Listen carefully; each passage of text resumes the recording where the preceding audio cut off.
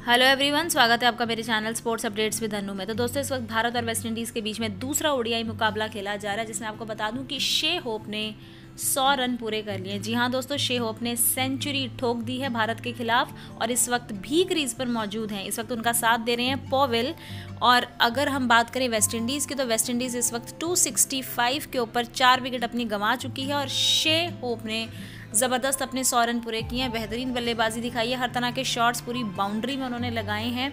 और काफ़ी अच्छी उन्होंने बल्लेबाजी दिखाई है। वेल दोस्तों, देखते हैं अब आगे क्या होता है। भारत जितना भी स्कोर वेस्ट इंडीज़ बना पाती है, उसको चेज़ कर पाती है नहीं कर पाती है वेल करना ही चाहिए। और हम चाहते हैं कि भारत इसको जीत जाए मैच को।